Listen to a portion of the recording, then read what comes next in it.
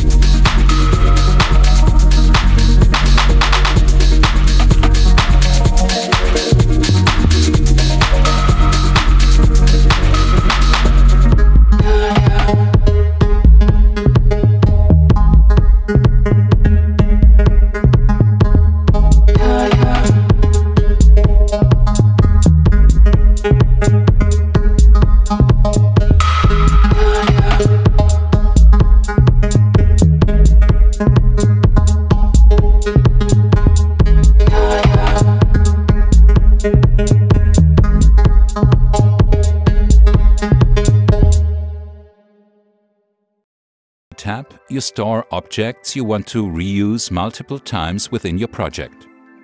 The project library is opened, saved and closed automatically alongside your current project.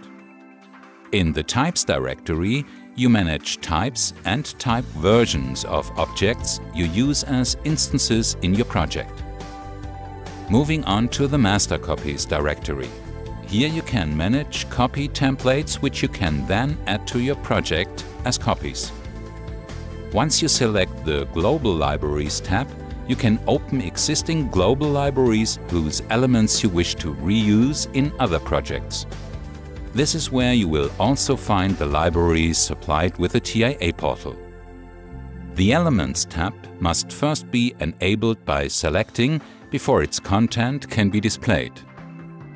The Elements view will display the elements of the selected library in Detail mode, List mode or in Overview mode. The Info tab displays the content of the selected library elements, the various type versions and the last modification date of the version. Let's now switch to the Library view. This view will open automatically when needed, for example, when a typified function block is being edited.